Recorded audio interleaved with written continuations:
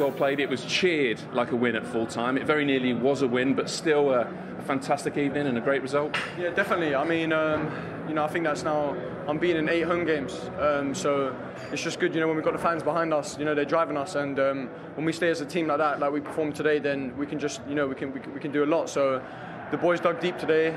Uh, we stayed strong, we stayed together, and we, we got a good result. So um, yeah, at the end of the day, we're happy. So. So Kyle, your first Premier League goal, and it was said on commentary, taken like a 30 goal a season striker, and it was, wasn't it? Yeah, uh, it wasn't a bad finish, was it? Um, yeah, you know, I, we do a lot of finishing in training.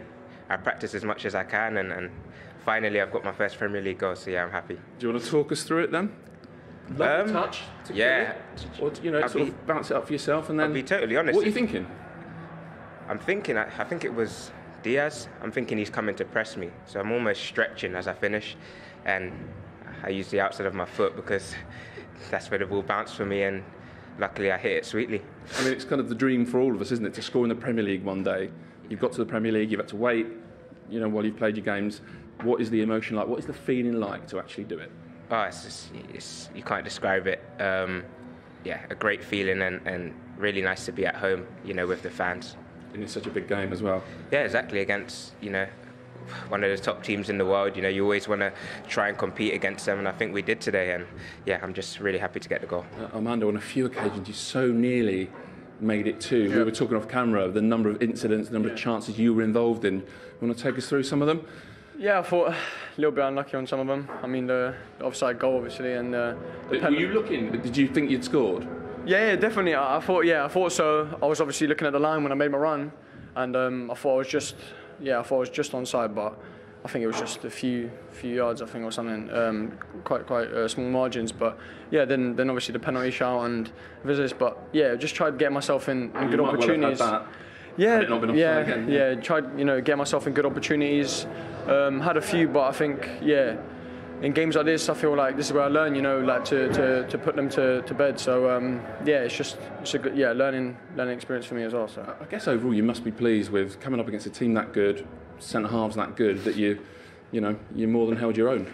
yeah, definitely. You know, I, I go into every game, you know, uh, play my way. You know, just um, try and help the team out as much as possible. You know, it's, for me, it's not doesn't matter who I'm up against. You know, I just try to, to play for the team and play for, for the win. So um, yeah, just yeah, try to give my all for the team really. So. And I know you're here to do a job, so that, was it anywhere in your mind doing Chelsea a little favour, getting them back in the title race?